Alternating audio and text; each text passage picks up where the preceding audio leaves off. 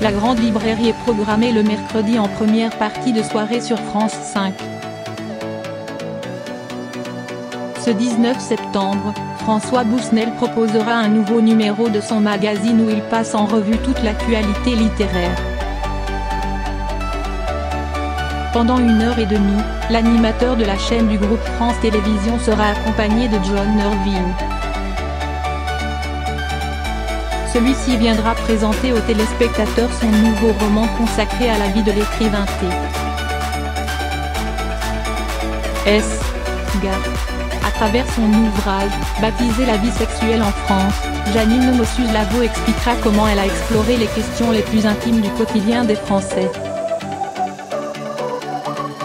Le destin brisé de Maria Schneider, jeune actrice du dernier tango de Paris, sera raconté par Vanessa Schneider, sa cousine.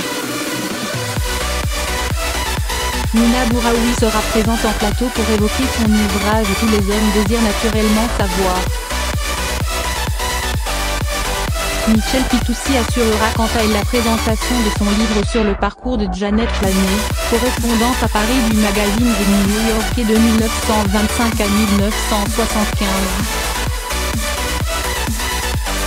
Le mercredi 12 septembre, la grande librairie a pu compter sur la présence de 562 000 téléspectateurs, soit 2. 6% de l'ensemble du public, entre 20h55 et 22h15.